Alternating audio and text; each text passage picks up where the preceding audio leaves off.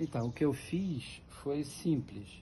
Eu comprei uma cebolinha na, no supermercado inteira, cortei, vamos comer o resto, e peguei ela com raiz e deixei ela 24 horas na água, tá vendo? Para ela ficar, você vê assim, eu cortei ontem e essa parte aqui já é nova de hoje.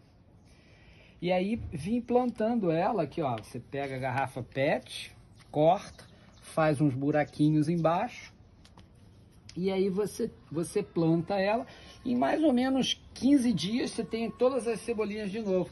E ao invés de você é, comprar, cortar e deixar na geladeira, você corta na hora. Isso você pode botar na varanda, num, num espaço dentro do apartamento, ela não precisa de sol direto, né? Precisa estar um pouco úmido a terra e você tem cebolinha, que é um negócio super legal de você cortar e botar na salada.